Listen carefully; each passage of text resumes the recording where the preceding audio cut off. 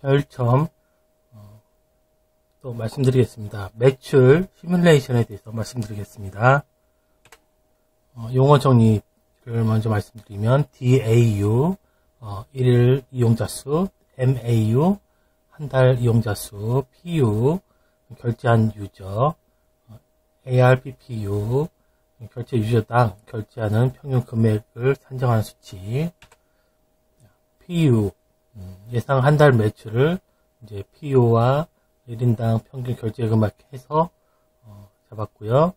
결제 유저 수는 음, MAU의 8에서 13%, 음, 그리고 모바일 게임은 어, MAU의 4에서 8%로 잡고 있습니다.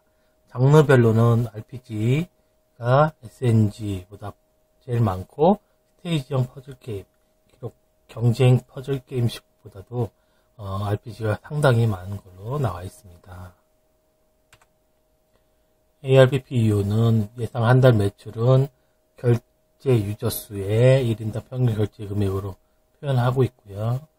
어, 그래프를 보면은 어, 이렇게 어, 캐주얼보다는 MMORPG가 상당히 어, 더 높게 나온 거로 나와 있습니다. 상용화 강도는 고객단가 게임인데 저객단가 게임에서 이제 나눠줄 수 있는데요.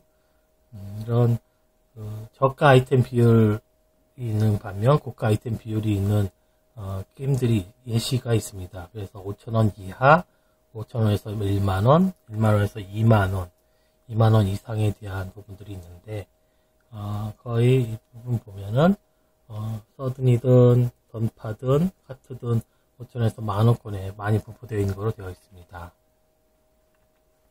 아이템 종류별 비율을 예시를 보면 기간제 비율과 연구제 비율에서 기간제 비율 쪽에서 기능성 아이템 비율이 어, 많은 것으로 어, 나와 있습니다. 매출 시뮬레이션을 순서는 예상 어, 한달 매출의 MAU를 구하고 플랫폼과 장르에 따른 예상 PU를 구한 다음 어, 예상 ARPP 비율을 구합 니다. 그 시간에 따라 유저 하락수에 따른 매출 하락분을 예상해서 연간 예출 매상액을 잡게 됩니다.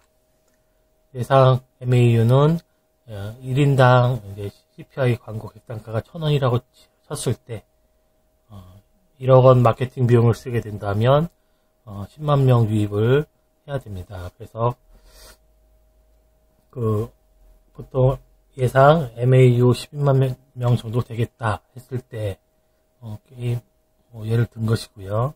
아쿠아 스토리 같은 경우는 SlideShare에 나와 있는 형태로 150만 설치해서 한 달 MAU는 63만, 하루에는 22만 정도로 되어 있습니다. 예상 PU, 게임 PU 퍼센트 현황을 보면은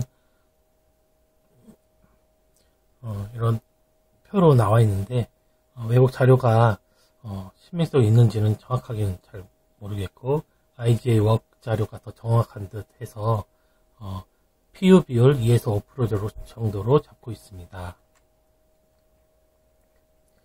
참고 자료로 봤을 때 T스토어에서 과금 형태인데요. RPG 과금은 구글 스토어 플레이에서는 15만원 정도 이렇게 나와 있는데 실제는 한 4에서 5, 8만원 정도 적당할 듯 싶습니다. 그래서 샘플로 아주 간단하게 어, 2000 어,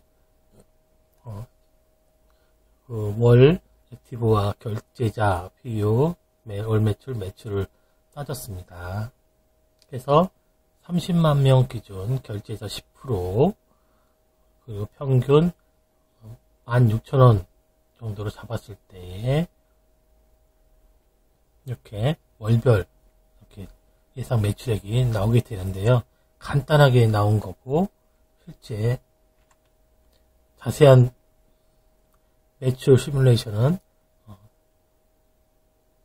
별도로 말씀드리겠습니다. 예, 이상 마치겠습니다.